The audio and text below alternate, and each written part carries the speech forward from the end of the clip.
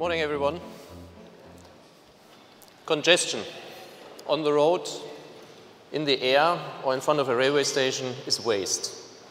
Time is lost, infrastructure throughput goes down, and there's a lot of unnecessary pollution. Digitization, big data, can greatly reduce this waste. Successful examples show that. But progress towards it is very slow, too slow. So why is that, and what can we collectively do about it? In fact, infrastructure congestion is a significant burden on society. In Europe, for instance, it's estimated at 1% of GDP and growing. Think of commuters in London or Brussels that waste more than 80 hours in road congestion annually. That's more than two full work weeks. Or think of the US, where there are 1.5 million hours of airport delays summing up at a cost of at least 6 billion to society. Or think about our McKinsey Global Institute report on infrastructure productivity from last year that concluded that 15% of global spend on infrastructure could actually be saved if we managed to make more of existing infrastructure. 400 billion US dollar per annum. The solution to most of these challenges is in digitization. And examples show that.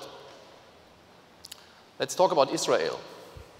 Briefly talked about it yesterday. Israel introduced a fast lane between um, Ben Gurion International Airport and, and Tel Aviv, a 13 mile stretch, where the tolling system, system for the fast lane is dynamically linked to the current traffic situation. So if there is a lot of congestion, the fast lane becomes expensive. If there's none, it doesn't cost anything. That's not just a great way of, of course, yield manage a toll road. It's actually also a good way to steer demand and to make sure that speed patterns align and you have no turbulent flows, creating a lot less congestion. Or let's look at Brazil here. Brazil is faced with a significant airspace congestion issue. Since 2000, passengers have grown by, by a factor of four to more than 150 million, and they're expected to grow again by a factor of two until 2030 to more than 300 million passengers. Infrastructure has not been prepared for that. DECEA, the uh, uh, air traffic control agency here in, uh, in Brazil, is now introducing a navigation system that uses GPS data to dynamically optimize uh, the path of planes. So you don't have planes lining up for hundreds of miles in the end before uh, they actually reach the airport, but you can actually curve in based on GPS data and avoid a lot of detours in the process. Pilots in Brasilia and, and here in Rio have shown that you save something like seven and a half million of flight time on average on those, on those approaches.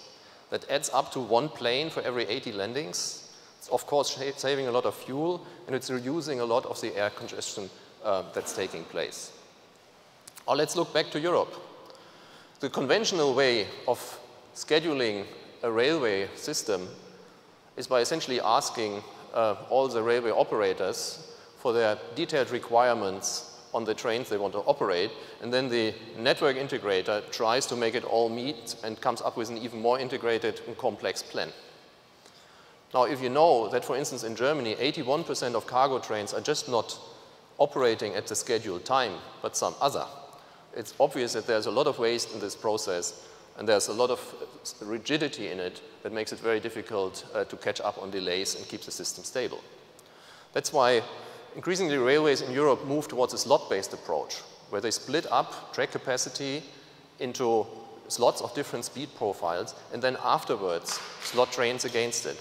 And they don't do that only on the planning stage, but they use it also then for steering to make sure that there's a more structured catch-up in case of delay, so you can still arrive at the, at the desired um, arrival times.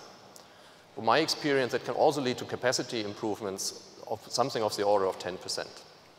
All of these great examples, but unfortunately, the progress of rolling out these big data approaches across transport industry has been more than slow. I mean, from meetings in industry gatherings, for instance, for airports, I mean, there's always great enthusiasm about um, using big data uh, passenger flow optimization methodologies, but if you look into it, in the end around the world, there are at best a few dozen airports that do anything in that direction.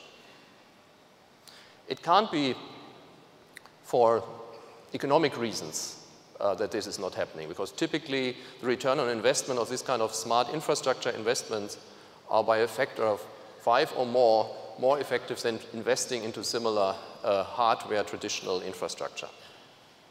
For instance, if you think about such a, such a slot-based system here, deploying that for a large railway costs about 100 million probably in IT costs and, and change management costs, but it has impact in the billion euro range.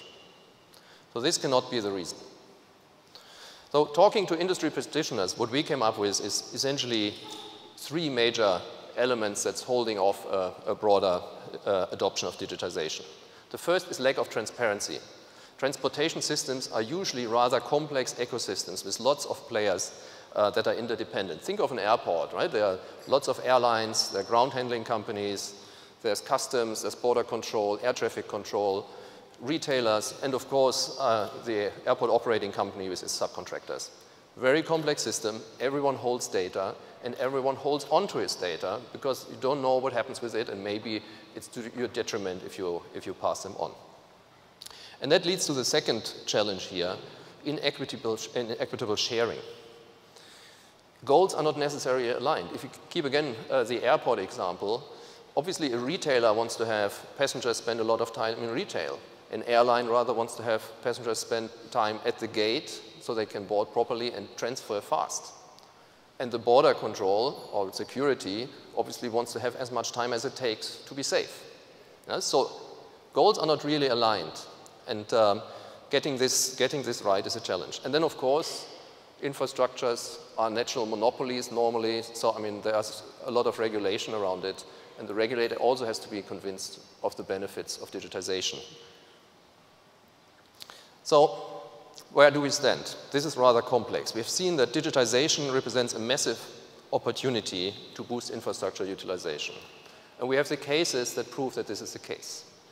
But despite of these successes uh, and attractive economic re returns, I mean, these barriers here have to be overcome. And this will only work if there's a shaping force behind it. And there are, of course, a few options how these shaping forces could look like. They are the classic ones, right? It's government, which obviously should have an interest in making sure that infrastructure utilization is at its maximum. It could also be the main concession holder uh, in such an infrastructure ecosystem which probably still needs some facilitation by a neutral party because the trust in these kind of systems is usually not very well developed. What's most likely necessary is that both happens. So from the side of governments, the, the right boundary conditions must be put in place. It must be clear what's the rule of the game in terms of data usage and data collection. And most importantly, also for the government agencies that are involved in these ecosystems, clear service levels need to be defined.